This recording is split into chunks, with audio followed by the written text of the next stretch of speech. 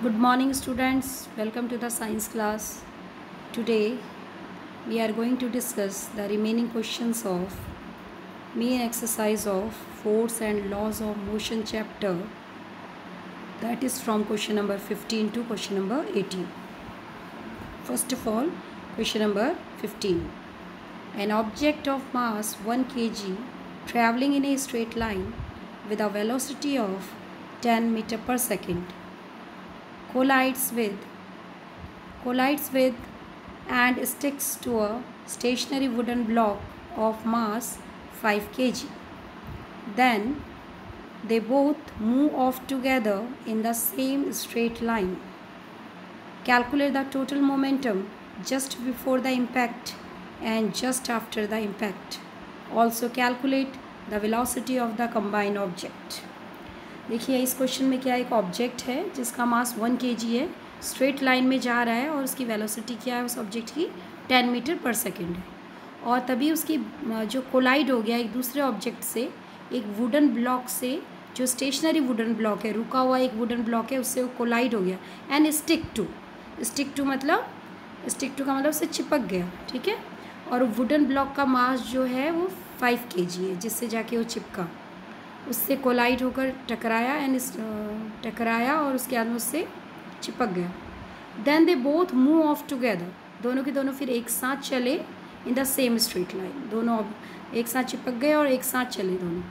आपको निकालना है कि टोटल मोमेंटम क्या होगा before just before the impact and after the impact ये जो प्रोसेस हुआ है, इससे पहले क्या मोमेंटम था और उसके बाद में क्या मोमेंटम हुआ? कोलिजन के बाद में ये आपको निकालना है। और आपको जो कॉम्बाइन ऑब्जेक्ट है, दोनों एक साथ स्टिक कर गए कोलाइजन होने के बाद में तो उन कंबाइन वेलोसिटी निकालनी है दोनों की, कि दोनों की कॉम्बाइन वेलोसिटी एक साथ दोनों की वेलोसिटी क्या होगी? ये आपको इसमें कैलकुलेट करना है। तो सबसे पहले आपको जो जो फ़िज़िकल क्वांटिटीज़ गिवन है, उनको पुट करिए। आपको मास ऑफ़ द ऑब्जेक्ट दे रखा है M one is equal to one K G आपको गिवन है। So M one is equal to one K G या आप लिख दीजिए M one is equal to one K G है। ना इसी तरह से यू वन जो एम वन ऑब्जेक्ट है, किस वेलोसिटी से जा रहा है? टेन मीटर पर सेकेंड की स्पीड से जा रहा है। तो यू वन इनिशियल वेलोसिटी क्या है? एम वन ऑब्जेक्ट की जो इनिशियल वेलोसिटी यू वन है टेन मीटर पर सेकेंड ठीक है? किस ऑब्जेक्ट से टकराया? एक वुडन ब्लॉक से टकराया स्टेशनरी वुडन ब्लॉक से। उसका मास है फाइव के जी तो एम टू आपका कितना हो गया? फाइव के जी ठीक है? क्योंकि वुडन ब्लॉक स्टेशनरी था, रुका हुआ था तो उसकी वेलोसिटी यू टू की वेलोसिटी क्या होगी? इनिशियल वेलोसिटी उसकी ज़ीरो रुका हुआ स्टेशनरी ब्लॉक है तो यू टू आपका क्या हो गया? ज़ीरो तो ये सारी वैल्यूज़ आप यहाँ पर लिख दीजिए, जो आपको गिवन है। उसके बाद में बिफोर इम्पैक्ट जो ये प्रोसेस हुआ है पूरा कोलाइजन का बिफोर इम्पैक्ट से पहले टोटल मोमेंटम क्या होगा सिस्टम का? टोटल मोमेंटम क्या होगा? टोटल मोमेंटम दोनों का जो इनिशियल मोमेंटम है, उसको आप आपस में जोड़ दीजिए। तो आपका मोमेंटम क्या आएगा? M one U one plus M two U two ठीक है, ये टोटल मोमेंटम हो गया सिस्टम का। तो M one mass of the first object. तो आपका बिफोर इम्पैक्ट टोटल मोमेंटम मान लो, आपने पी वन मान लिया टोटल मोमेंटम ठीक है? कुलाइजन से पहले। तो P one is equal to M one U one plus M two U two हो गया आपका। तो एम वन कितना है आपका? One K ji into you to कितना है आपका? टेन प्लस एम टू कितना है आपका? फाइव के जी फाइव लिख दो। इंटू यू टू कितना है आपका? यू टू है आपका ज़ीरो यू टू स्टेशनरी था ज़ीरो तो ये तो फाइव इंटू ज़ीरो ये ज़ीरो हो जाएगा। वन इंटू टेन कितना होगा आपका? टेन तो टेन मोमेंटम है, मोमेंटम की यूनिट क्या होती? है K G metre per second. तो पी वन तो बिफोर इम्पैक्ट, नहीं, बिफोर इम्पैक्ट टोटल मोमेंटम आपका आ गया, P one is equal to ten K G metre per second. Okay? Now after impact, जो क्लाइजन हुआ, उसके बाद में क्या हुआ? Just after impact total momentum remains the same. और जो इम्पैक्ट के बाद में जो टोटल मोमेंटम है, वो सेम ही रहेगा, because then they both move of together in the same straight line. क्योंकि वो सेम स्ट्रेट लाइन में ही दोनों चल दिए। तो इट मीन्स आफ्टर इम्पैक्ट आपको पता है कि law of conservation of momentum क्या कहता है? Total momentum before collision is equal to the total momentum after collision तो आफ्टर कुलाइजन भी यही मोमेंटम रहने वाला है। तो P two is also is equal to P one that is ten वो भी टेन ही रहेगा।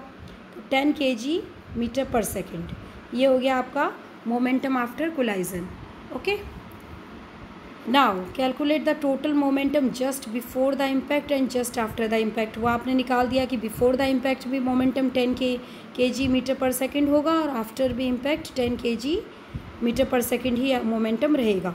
अब आपको दोनों की कंबाइंड वेलोसिटी निकालनी है कि कंबाइंड वेलोसिटी क्या हुई दोनों की। Now if V is the velocity of the combined object मान लो वी जो है वेलोसिटी है दोनों ऑब्जेक्ट की कंबाइन वेलोसिटी है दोनों ऑब्जेक्ट की वी वेलोसिटी देन फिर क्या होगा? कम, आपका देखो यहाँ पर जो है P two is equal to P two is equal to जो कंबाइन वेलोसिटी दोनों एक ही वेलोसिटी के साथ जाने लग गए। तो P two momentum after collision के बाद में दोनों का मोमेंटम क्या हुआ? उनकी वेलोसिटी कितनी होगी? वेलोसिटी आपको दे नहीं रखी है ना कुलाइजन के बाद में, वो तो आपको निकालनी कंबाइन वेलोसिटी दोनों एक साथ स्टिक कर गए।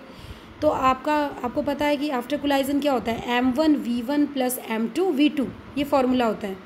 लेकिन दोनों स्टिक कर गए, दोनों एक साथ जाने लग गए तो दोनों की वेलोसिटी कंबाइन हो गई। तो दोनों की कंबाइन तो M one plus M two और ये और कंबाइन वेलोसिटी क्या हो जाएगी? M one plus M two V V आपने कॉमन ले लिया। कि ठीक है, दोनों एक साथ जाने लग गए। तो यस तो आपने कंबाइन वेलोसिटी आप इस तरह से P two is equal to M one plus M two और ब्रैकेट में और वी इस तरह से आप कंबाइन वेलोसिटी निकाल सकते हैं। तो वी बराबर क्या हो जाएगा? कंबाइन वेलोसिटी बराबर हो जाएगा momentum divided by M one plus M two ठीक है? तो एम टू पी टू कितना है आपका? फाइनल मोमेंटम आपका वही रहेगा जो इनिशियल रहेगा तो ten divided by M one M two कितना है आपका? One plus five one K जी प्लस फाइव के जी तो ten divided by six ten divided by six हो गया। इसको आप डिवाइड कीजिए डेसिमल में आंसर आएगा वन पॉइंट सिक्स सेवन क्योंकि मोमेंट आपने जो निकाला कंबाइन वेलोसिटी निकाल ली दोनों ऑब्जेक्ट की कंबाइन वेलोसिटी वी निकाला है, इसलिए वेलोसिटी की यूनिट क्या होती है? मीटर पर सेकेंड सो आपका आंसर आ जाएगा one point six seven metre per second okay now question number sixteen an object of mass one hundred K G is accelerated uniformly from a velocity of five metre per second to eight metre per second in six second Calculate the initial and final momentum of the object. Also, find the magnitude of the force exerted on the object. एक object है जिसका मास 100 kg है, जिसको uniform acceleration उसको दिया गया। तो उसकी वेलोसिटी 5 मीटर पर सेकंड से 8 मीटर पर सेकंड हो गई 6 सेकंड में।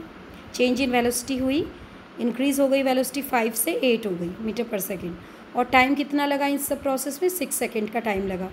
आपको निकालना है कि उस ऑब्जेक्ट का इनिशियल और फाइनल मोमेंटम क्या होगा।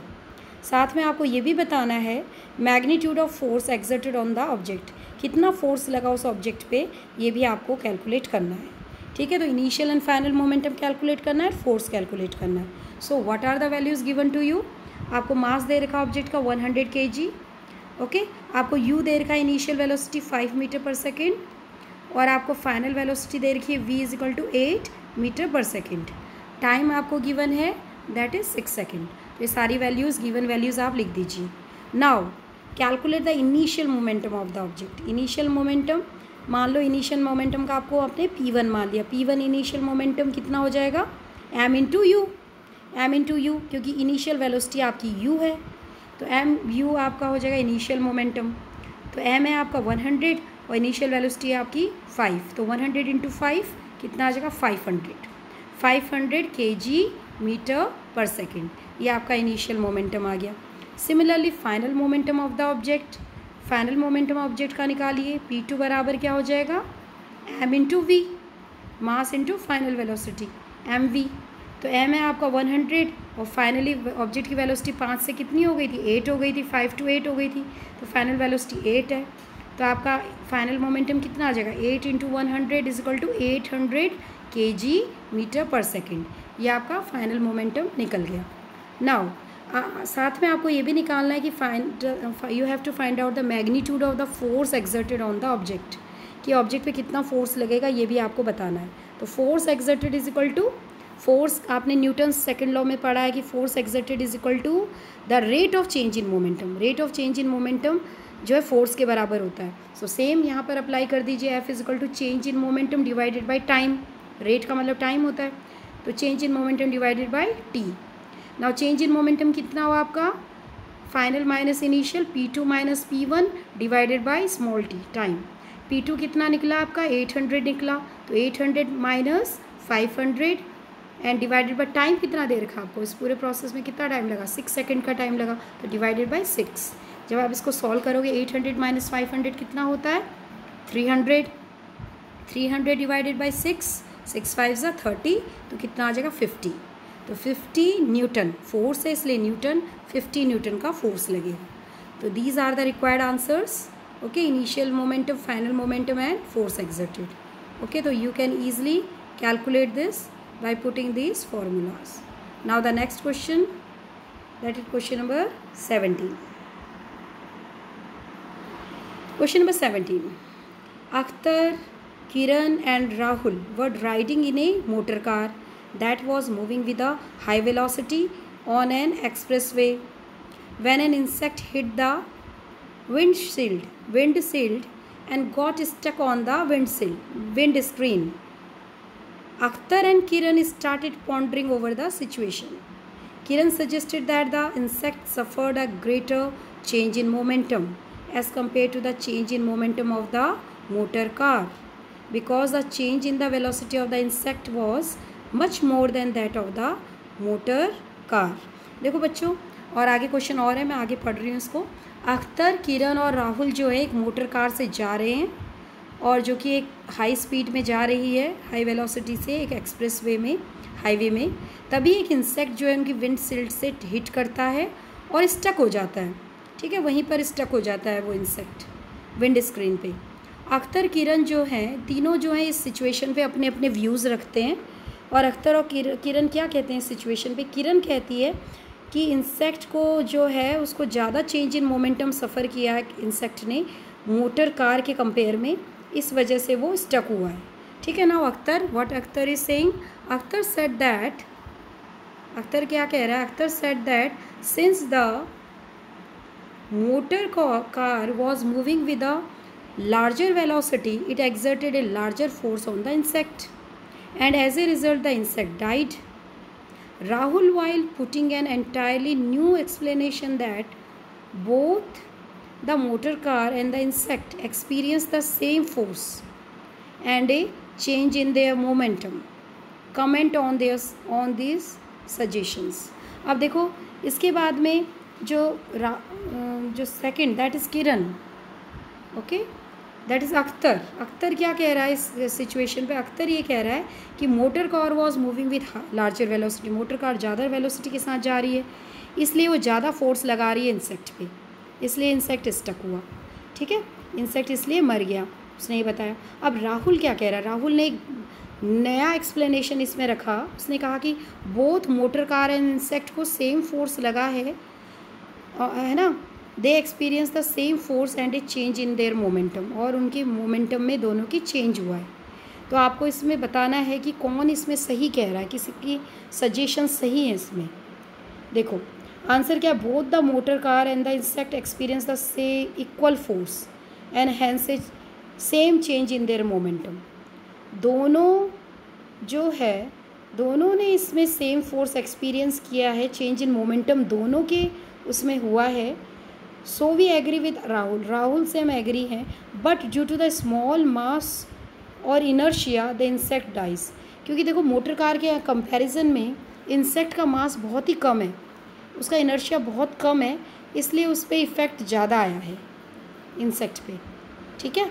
दोनों में, हालाँकि दोनों के, दोनों पे फोर्स लगेगा, लेकिन क्योंकि इंसेक्ट का इनर्शिया बहुत कम है, उसका मास कम है इस वजह से उस पर इफ़ेक्ट आएगा, इसलिए वो मरेगा। ठीक है, अगर कोई बड़ा एनिमल होता तो उसकी जगह ऐसा नहीं होता क्योंकि उसका मास ज़्यादा होता, दोनों इक्वली इफ़ेक्ट होते।